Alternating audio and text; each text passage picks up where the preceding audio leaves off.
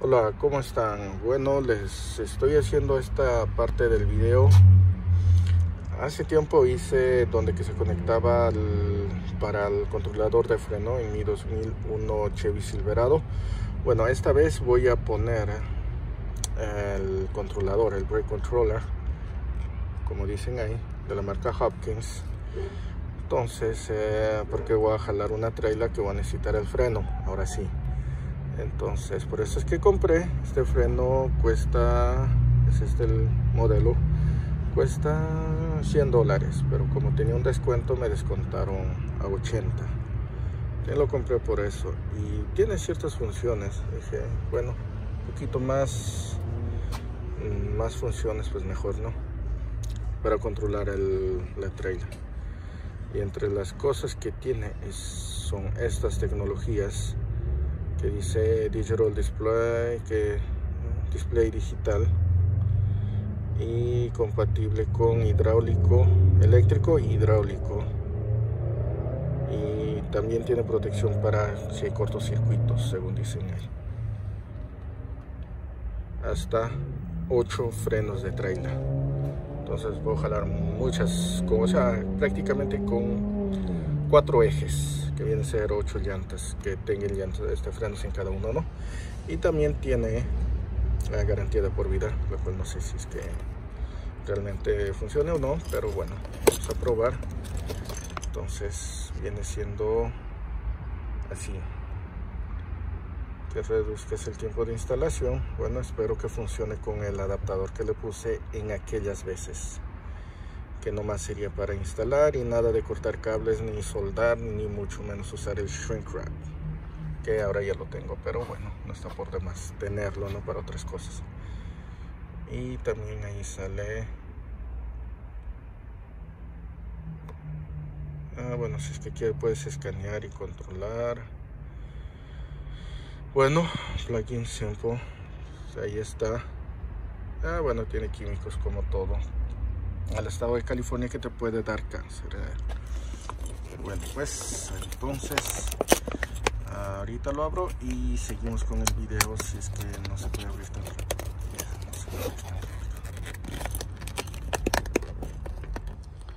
Bueno, continuando, ya lo logré abrir. Entonces es esto viene los brackets para conectar me imagino que esto es que vas a conectar cable por cable y los brackets donde vas a poner todo. Entonces esta es la unidad en sí. Aquí tiene para conectar más directamente. Y si es que no tienes eso pues tienes que cortar o cortar este cable y conectarlo de esa forma soldando con, con estas cosas no que vienen ahí. Entonces vienen también unos cuantos tornillitos y manual de instrucciones. Que te dice cómo y dónde conectar. Correcto incorrecto o tiene que estar como en un ángulo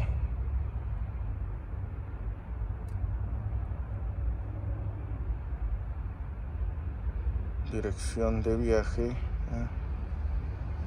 bueno prácticamente tiene que estar todo en un ángulo pues en un ángulo recto no puede estar así. Y aquí sale las operaciones cómo usar aquí sale qué es y para qué es cada cosa. Precauciones braking capacidad 248 brake controllers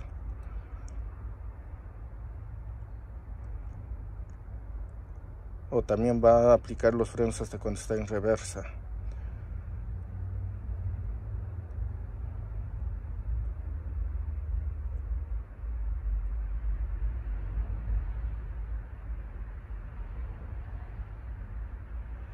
Creo que tiene como un sensor, porque tiene que estar eh, en movimiento para que se aplique los frenos.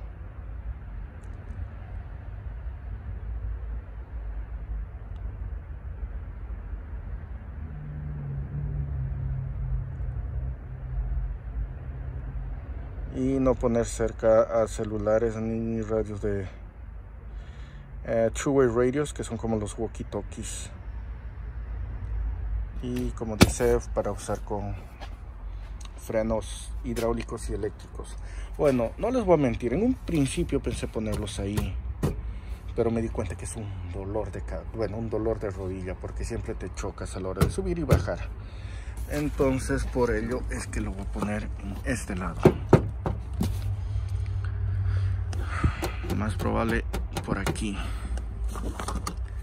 que vaya algo así.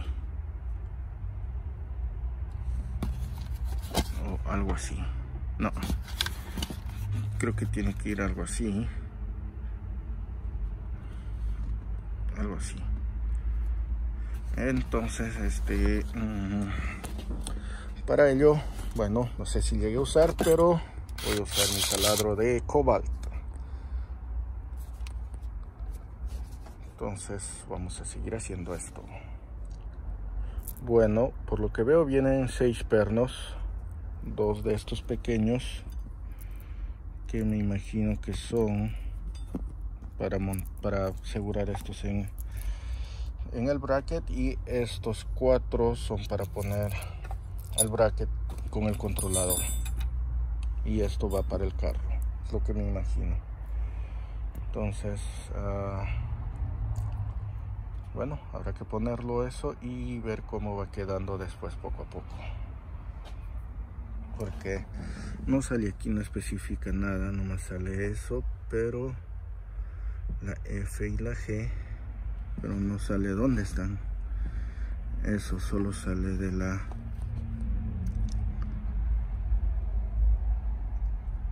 A a la E. Los otros no sale como salen ahí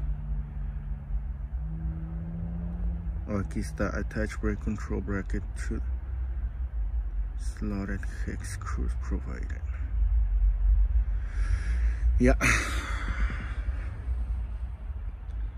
La F mount ahí dice mount bracket to the secure location with Phillips screws. Ya ese Phillips es esto no es flathead flathead es esto. O bueno otro o hex como le dicen no bueno voy a ponerlo y para eso necesito mis dos manos. Ah, y donde les dije bueno ya puse uno de los tornillos y para asegurarme que todo esté nivelado estoy usando esto. Entonces una vez que me asegure que ya está a nivel voy a poner voy a proceder a ponerlo el otro seguro. Bueno parece que va a ir ahí. Entonces uh, vuelvo una vez terminado esto. Bueno ya lo puse. Está bien asegurado. Entonces ahora me queda tornillar esto para que quede bien puesto y conectarlo la cual debe ser solo conectarlo porque hace tiempo ah, puse el cable que sea para que sea más fácil no entonces vamos a hacer y eso sí lo voy a tener que hacer manualmente mejor por seguridad para no hacerlo demasiado aprieto como recordarán, hace tiempo hice la instalación de este cable. Entonces nomás lo jalé aquí encima y bueno, llegó la hora de conectarlo aquí. Ahí ahí mismo. Pero creo que tiene su forma de conexión. Antes de asegurarlo como verán ya lo puse. Los cuatro pernos van ahí. Entonces una vez que lo instalo pues ya lo voy a asegurar no entonces uh, lo voy a instalar esto y esto también lo voy a asegurar en aquí para que no esté ahí colgado y luego se te enreden los pies a la hora de manejar. Y ya está ya. Es todo. Ahora asegurarle esto. Aquí en alguna parte asegurar eso. Y ya está ya, ya estaría listo. Bueno, antes de asegurarlo todo por completo, vamos a asegurarnos que funcione. Bueno, creo que no va a funcionar a menos que esté conectado realmente. Ahí está, ¿ve? Pero como no detecta nada, pues no, no funciona nada. Ok. Esto para que se activa tienes que presionar. Bueno, eso es todo. Ya está conectado. Ahora nomás ya cada uno es a discreción donde lo esconde este cable para que no esté colgado. Está mi zapato. Y ahí queda puesto. Bueno, eso es todo. Gracias por ver el video. Espero les haya servido y va a ser hasta la próxima. Peace.